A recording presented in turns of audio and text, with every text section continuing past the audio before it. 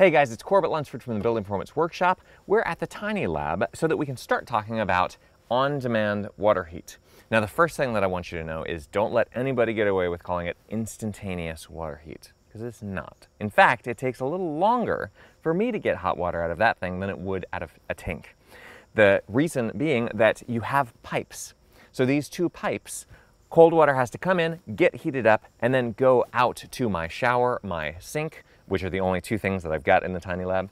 Uh, but in a bigger house, we're gonna have a much bigger problem because we've got more pipes, longer pipes to more different things. And we keep this turned all the way down because we're only gonna be heating a tiny bit of water for just that shower and sink. And I have the water temperature set to a different temperature than you would have in your house because ours is kept at 70, yours comes in at 55 from the ground.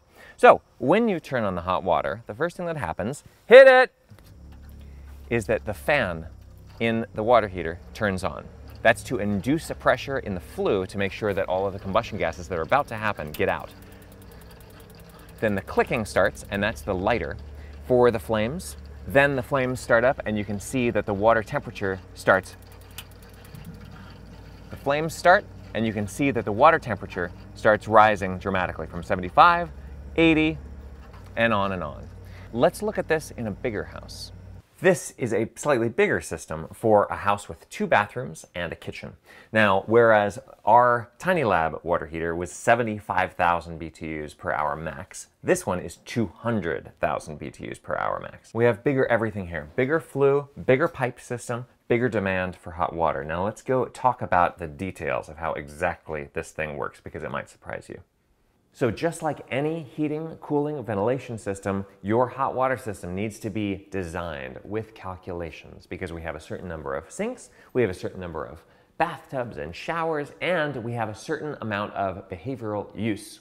And you want all that stuff to make it into the calculation so you know what type of equipment to buy because you just go out and buy a big box that's capable of producing a ton of heat might not be the right thing for you. For example, with one that can produce 200,000 BTUs per hour, at the minimum means that if I use this much hot water, and I would actually like this to be hot, there is no way that this is going to be hot because my water heater doesn't actually recognize this amount of flow as something that needs to be heated at all.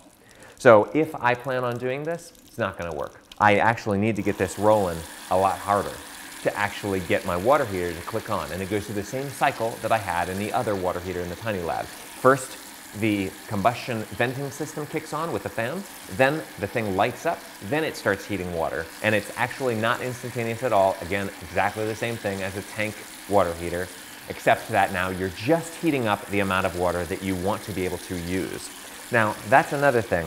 And of course, since we're always about home performance diagnostics here, we're gonna use some pieces of test equipment. I have my $10 meat thermometer, and I have my $600 FLIR C2 infrared camera they're going to tell me the same thing. Both of these are very good investments. This can be used for a lot more stuff. But I can see that my water is about 80 degrees. Again, not instantaneous.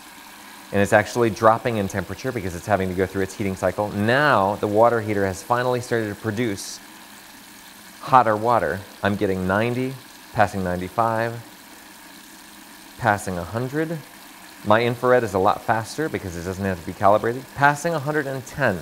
Now this is where it gets interesting. The reason that a tank water heater is not such a great idea is because I heat a bunch of water for as many things as I could possibly want to use it for. And I'm going to uh, heat all of it to the same very hot temperature so that if I have two showers running at the same time, then both people can have some hot water. And that means that I can turn up my water heater to 120. This water heater is also set to 120, and what I'm actually getting delivered here is 120 degree, honest to God, water. And that means it's so hot that if I was to put my hand under this for just literally seconds, it hurts. That's not the best idea. Um, so also, if I'm using a mix, and let's say that I've got some cold water tuned into this, hit it, and we turn on another hot water demanding appliance in the house, like a bathtub, etc. Now I'm actually having to share just like I would with a tank water heater system because this system has not been designed as well as it should be for the amount of complicated loads that we've got. I've dropped five degrees and descending down to 113.